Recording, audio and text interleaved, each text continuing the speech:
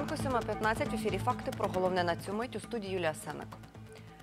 Росія відводить свої війська від України. Міністр оборони Росії Сергій Шойгу доручив від сьогодні починати відведення військ, які скупчилися біля кордонів з Україною в окупованому Криму. Натомість учора у Росії півтори тисячі десантників взяли участь у навчаннях, вилетівши з аеродрому в Таганрозі. Військові навчання відбулися неподалік кордону з Україною. Аналітики кажуть, не варто розслаблятися, адже у травні 2014-го також заявлялось про відведення військ від українського кордону. Однак тоді відійшли не усі сили, і у липні вони вели обстріл українських військ через кордон. А у серпні отримали підкріплення і дерлися на Донбас у складі декількох батальйонно-тактичних груп. Припинити мілітаризацію Криму, провокації на кордоні та вивести війська сходу України. Росію вкотре закликали Сполучені Штати. Виконувачка обов'язків заступника очільника місії США при ОБСЄ Елізабет Розенсток Сіллер під час онлайн-засідання постійної ради організації висловила жаль через те, що Москва перешкоджає роботі моніторингової місії ОБСЄ в Криму.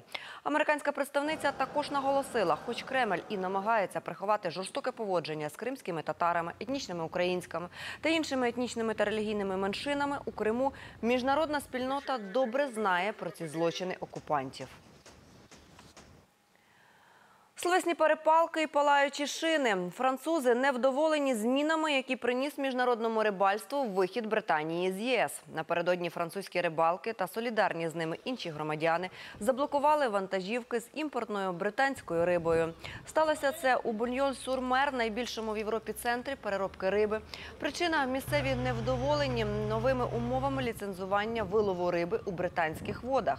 Вони значно сповільнюють процес видачі дозволів, і нині 80% рибальських човнів північної та французького регіону стоять на якорі та чекають.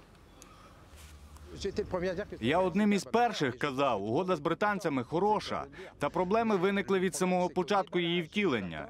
Тільки тоді ми зрозуміли, наскільки там багато усіляких дрібних обмежень, котрі не дають суднам ЄС працювати в англійській зоні. Сьогодні другий день міжнародного дводенного саміту, присвяченого змінам клімату на планеті. Нагадаю, його ініціатор, американський президент Джо Байден. Захід проводять онлайн. Факти транслюють саміт у прямому ефірі на своїй сторінці у Ютуб. Загалом на зібранні виступлять 40 світових лідерів. Напередодні слово мали, зокрема, Байден, канцлерка Німеччини Ангела Меркель, британський прем'єр Борис Джонсон, канадський Джастін Трюдо, французький президент Еммануель Макрон, лідер Китаю Сі Цзіньпінь та очільник НАТО Єнс Столтенберг. Усі погоджуються, що згубні для планети наслідки можна подолати лише спільно та закріпивши плани на законодавчому рівні. Глобальне потепління впливає на нашу безпеку та робить світ більш загрозливим. Тож має значення і для НАТО. Ми повинні зберігати здатність діяти за будь-яких умов. Зокрема, маємо пристосувати нашу інфраструктуру до підвищення рівня води в океані та зміни погоди, що стає більш екстремальною.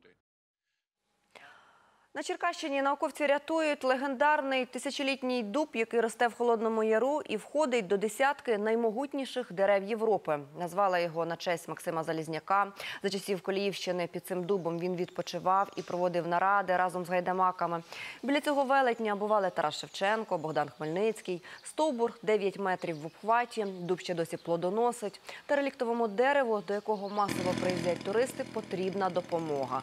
Через свій вік воно стало вразливе до інфекцій та хвороб, його активніше атакують шкідники.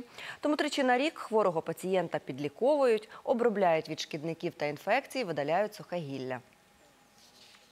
Ну і ми бачимо ці пошкодження е, громовиць. Шість разів вражала його громовиця. Бачимо і пошкодження шкідниками.